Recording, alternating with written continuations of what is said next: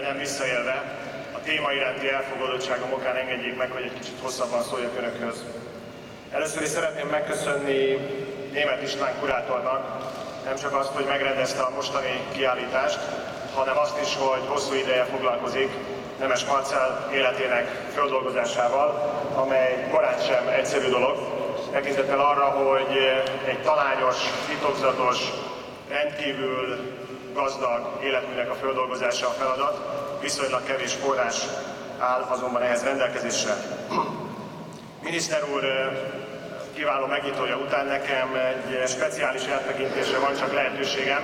Arra gondoltam, hogy amikor Nemes Marcel mint műgyűjtő és mecénás életéről beszél az ember, akkor pár szempontot talán érdemes figyelembe venni, és ezt az életművet és ezt az életet, ezt a férfi ember értelmezési keretbe helyezni. Az első dolog, amiről mindenféleképpen beszélni kell egy olyan ember esetében, akiről Moldos Péter, aki feldolgozta a 20. századi magyar műgyűjtés történetét és a legnagyobb magyar műgyűjtemények történetét monográfiába foglalta, azt írta, hogy a legjelentősebb magyar műgyűjtővel állunk szemben, a legértékesebb magyarországi műgyűjtemény birtoklója, párja nem volt, és Moldos Péter szerint soha nem is lesz már.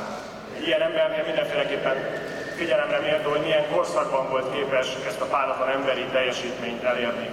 Szeretném arra felhívni a figyelmüket, hogy milyen fantasztikus és a történelem fejlődésére bizonyos értelemben rácáfoló életút áll Nemes Marcel mögött, hiszen minden valószínűség szerint a János Halmán 1866-ban napvilágot látott kispolgári zsidó családba született Klein Mózesként vagy Klein Mártonként világra jött Nemes Marcel, életét 1930-ban Budapesten, de egyébként szerűen a Tucingi Stámbergi tó mellett álló fantasztikus bombázatos kastélyban fejezi be.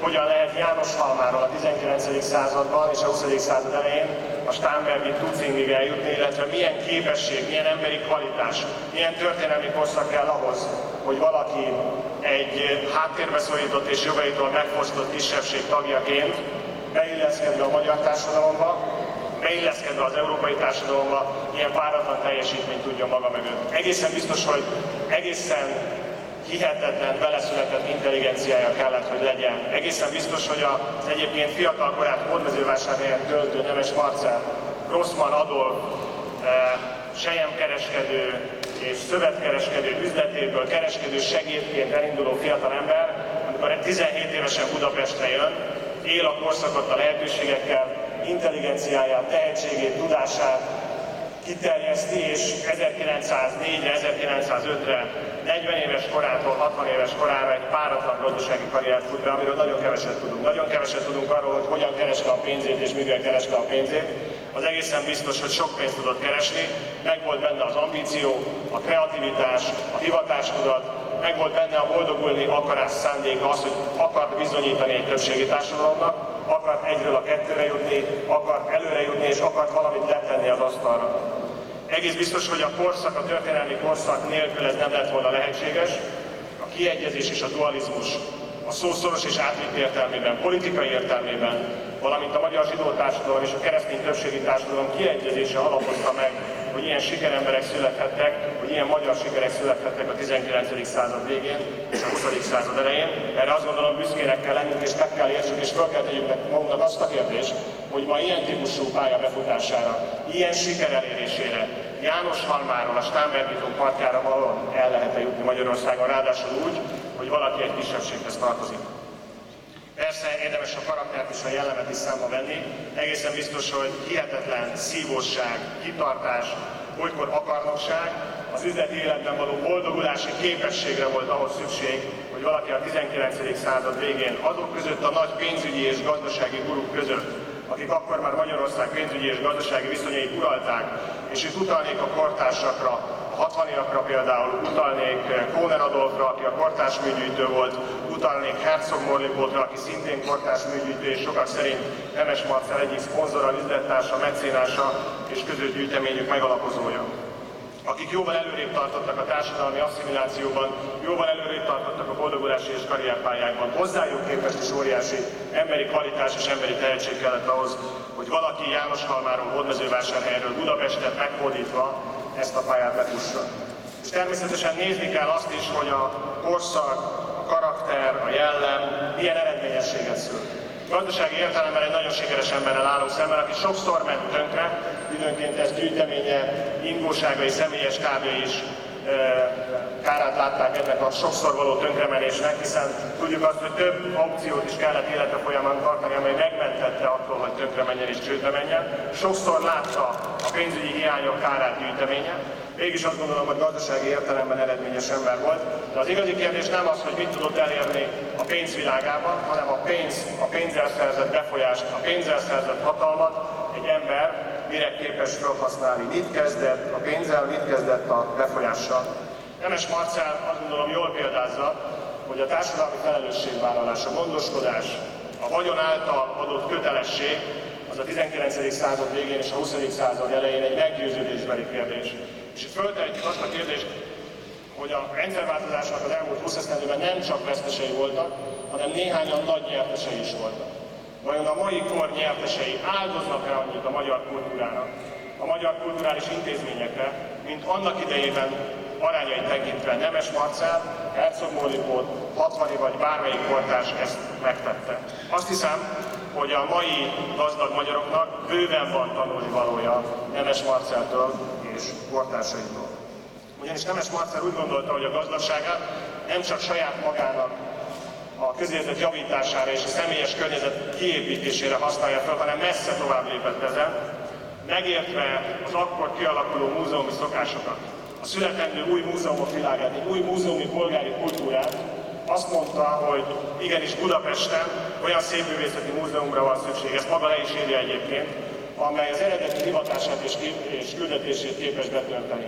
Nem csak most lesznek a következő évben gazdasági problémái a Szépművészeti Múzeumnak a szűkös költségvetési keretek miatt, hanem a 900-as évforduló idején is komoly gazdasági problémákkal küzdött a világ összes múzeuma, annak ellenére, hogy a múzeum iránti igény, az a polgári létforma, az a polgári egzisztenciális életforma, amely jellemezte a budapesti polgárságot, jellemezte egy fejlődő, kirobbanó nagyváros polgárságát, sokkal erőteljesebb volt, mint a 21. század kezdetén. Ennek ellenére anyagi nehézségek gyötörték a Szépművészeti Múzeumot is, és Nemes Marcelben is mások olyan mecénásokra, olyan donátorokra talált, akiket azt gondolom méltán becsül meg német István kurátor közreműködésével és Bán László vezetésével.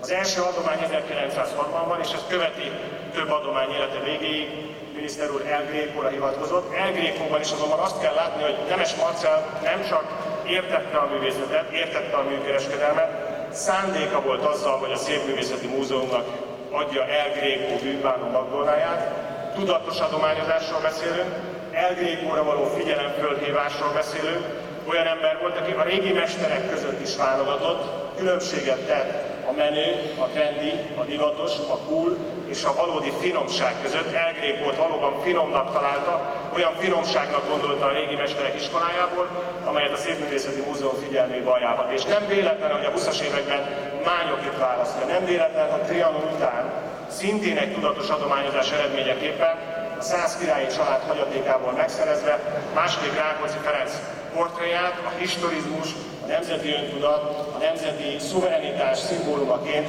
adományozza a Szépművészeti Múzeumnak. Tehát tudatos gyűjtő, tudatosan élő ember, tudatos adományozó és tudatos mecénás. Olyan ember tehát, aki képes volt a saját környezetére hatni, ízlésvilágával befolyásolni a saját környezetét, és alakítani a magyar múzeumok, a magyar kiállítóhelyek és a magyar kultúra sorsát. Nem véletlen azonban, hogy messze túlterjeszkedett a régi mesterek gyűjtésén. 1910-ben ismerjük a katalógust, a 10-11-es Szépművészeti Múzeumbeli kiállítás katalógusát, érdemes megnézni, hogy ekkor mivel rendelkezik. Gyűjti a régi mestereket, és gyűjti az impressionistákat.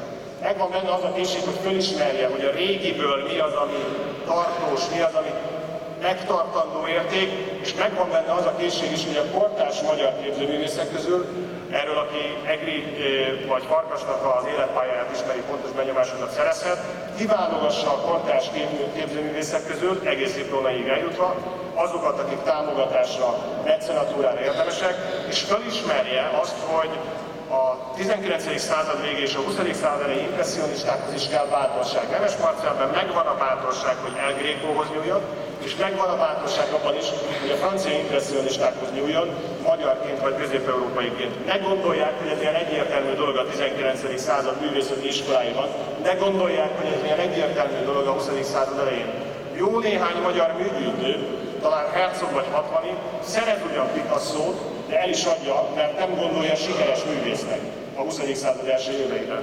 Sokkal nagyobb hozzáértő képességgel, sokkal nagyobb beleérző, emocionális képességgel lép a színpadra Nemes Marcel, amikor bemutatja ebben az épületben az impressionistáit, és amikor felajánlja az akkori zseniális kultuszminiszter, nem a későbbi filozófus, hanem legalább ilyen tehetséges kultuszminiszter Lukás György inspirációjára, Budapest fővárosának azt az impressionista gyűjteményét, amely egyébként egy gazdasági nehézség következtében 1913-ban Párizsban kerül átmenésre. Arról beszélgettünk Bán igazgató ha 13-ban Budapest, vagy akár a magyar állam fölismeri ennek az impressionista gyűjteménynek a jelentőségét, és megvásárolja, akkor van a Szépművészeti Múzeum a világ egyik legfontosabb impressionista művészeti alkotásokkal rendelkező kiállítóhelye. Olyan értékű, olyan összetételű, olyan páratlan, olyan korszakokat átívelő érvényességgel bíró gyűjtemény, ez a francia impressionista gyűjtemény, amelyet Budapestnek akart adományozni, illetve fölajánlja megvásárlásra.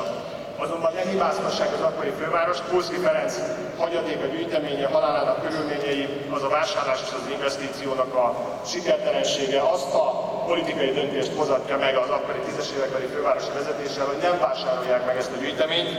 Természetesen ez azt is jelenti, hogy a politikának és a közélet szereplőinek mindig önmagukon túlmutató, a napi érdeket és a napi kudarcokat túlélő, perspektívikus gondolkodással kell bírniuk. A későbbi történet szintén legalább ennyi tanulsággal bír, talán jókor, talán rosszkor hal meg, amikor meghal 1930-ban a világgazdasági válság közepette az akkor újra fölépülő gyűjteményét, amely már Németországban épült, hiszen 19-ben 18 háború után kiköltözik Németországban és német kultúrának, Münchennek, Berlinnek nagyon sokat áldoz, de sokat, sok munkája, sok gyűjtemény, gyűjteményi rész található a Prádóban vagy a Louvre-ban. Ezt ajánlom mindannyiójuk figyelmébe, és természetesen a korszak társadalmi elismerése is hullik a vállára, a magyar király kitüntetése, a spanyol uralkodó kitüntetése, a francia becsületel és a német állam elismerése egy, egyúttal jelzi azt, hogy milyen óriási táblat nyílik meg. A Jánoshalmi kispolgári családból származó zsidó egzisztencia eljut odáig, hogy magyar nemességet bír a francia becsületlen lovagja lesz, mert képes és kész az áldozatra. Egész biztos, hogy hiú ember volt, de ez a hiúság nem csak önmaga gyönyörködtetését szolgálta, hanem azt a célt is szolgálta, hogy a közösséget gyarapítsa vele. Szeretném fölhívni arra tehát a figyelmet, hogy amikor meghal, rosszkor hal meg abban a szónak abban az értelmében, hogy a magyar állam nem kész és nem képes a gyűjtemény maradványait megvásárolni, nem képes a 30-as évek magyarországi aukcióin és a németországi aukcióin érdemben vásárolni, és rosszkor hal meg abban az értelemben, mert a kortársak lehetőség, valószínűleg anyagi lehetőség hiányában viszonylag kevés dolgot vásárolnak meg, és ha szabad így mondanom, nem kellően értékelve a gyűjteményt kerül árverezésre. Nagyon érdekes az, hogy vannak azonban magyar kortársak, akik vagy szerették, vagy nem szerették, erről legendák szólnak, például Hatvani Ferencnek komoly föntartásai voltak állítólag Nemes Marcerrel szemben. Hatvani Ferenc legalább ilyen, személyes véleményem szerint legalább ilyen kvalitású ügyűjtő volt, és valóban egy fantasztikus ügyűjtőnek tekinthető. Ezekhez a gyűjtőkhöz kerülnek művek. Ezeknek a története nehezen követhető, azt azonban tudjuk, hogy Nemes Marcel hozott dolgokat Magyarországra, francia impressionistákra, francia impressionistákat, vagy az elgrékokat, amelyeket később megtalálhatunk a Herzog vagy megtalálhatunk Hatvani Ferencnél, vagy éppenséggel a Felner testvérek, Felner, Felneréknél, apánál és fiúnál. Szeretném figyelmübe idézni végül a példát, és hogy hogyan viszonyulunk hozzá. A példa mindenképpen beszédes. Azt gondolom azoknak, akik ma Magyarországon képesek gazdasági erőt felmutatni a nehézségek ellenére, és gondolni kell ennek a nemzetnek a kulturális öntudatára hogy mi az, amit elköltünk, és ebből mi marad meg. Nézetem és hitem szerint egyetlen olyan beruházás létezik, aminek van értelme, a szó történeti, táblati és a civilizáció fejlődése értelmében, ez pedig csak a kulturális beruházás. Minden kultúrára fordított forint képes a megtérülésre, és magánál jóval nagyobb hatás kiváltására. Ezért aztán Nemes Marcel példáját fölemelve, példaképpen állítva őt, piedesztára emelve őt, ajánlhatjuk a kortárs gazdag magyaroknak, hogy az adakozás művészetét sajátítsák el, legyenek a mainál sokkal nagyvonalúbbak, legyenek jó mecénások, és az elmúlt 20 év nyerteseképpen vegyék a fáradtságot arra, hogy a Szépművészeti Múzeumnak és a magyar kultúra más fellegvárainak hétköznapi működését és a távlati boldogulását segíteni képesek legyenek.